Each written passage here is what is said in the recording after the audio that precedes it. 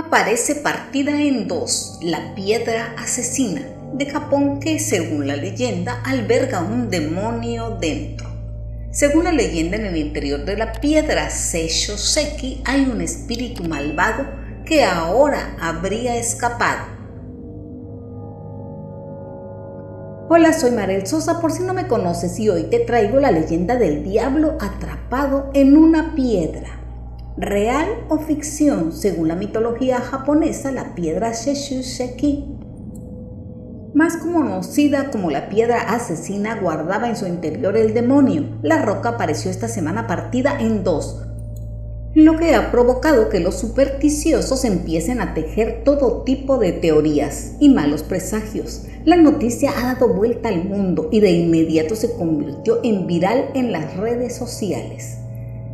Su nombre se debe a Tamamo no Mae, una hermosa mujer que integró una conspiración secreta ideada por un hombre de la guerra feudal con el objetivo de eliminar al emperador Toba Teno, que gobernó entre los años de 1107 y 1123 el objetivo de la maquiavélica mujer era usurpar el trono. Muchos creen que el cadáver de Tamamo no Mae se transformó en habitante de la piedra. Según las creencias, su identidad era realmente de una zorra de nueve colas que se encontraría incrustada en un trozo de lava de la prefectura de Tochishi, en zona conocida por sus aguas termales sulfurosas.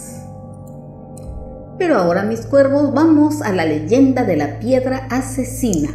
Los supersticiosos empezaron a temer lo peor tras saber la noticia de que la roca había aparecido partida en dos partes, ya que según la creencia la piedra podría empezar a emitir gases venenosos. Se cree que la piedra asesina fue exorcizada por un monje budista que después dispersó sus trozos por todo el Japón, aunque muchos otros piensan que el espíritu se encuentra en el monte Nasu.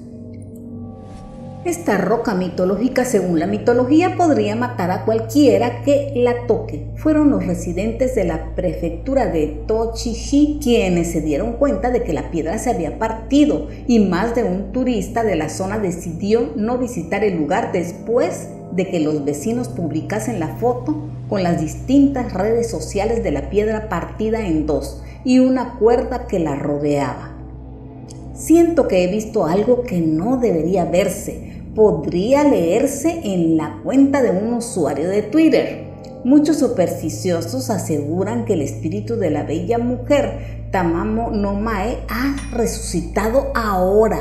La prensa local informó que hace varios años comenzaron a aparecer grietas en la piedra asesina, lo que eventualmente provocó que la lluvia se filtrase y terminase abriendo la roca en dos.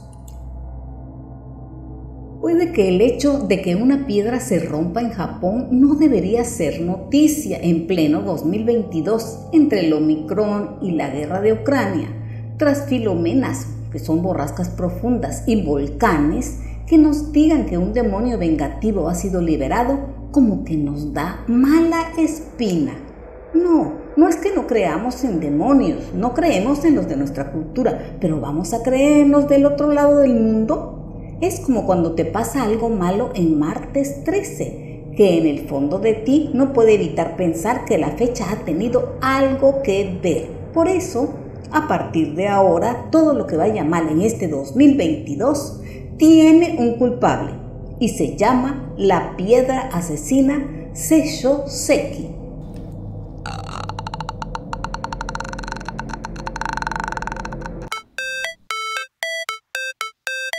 Suscríbase, suscríbase. Esto fue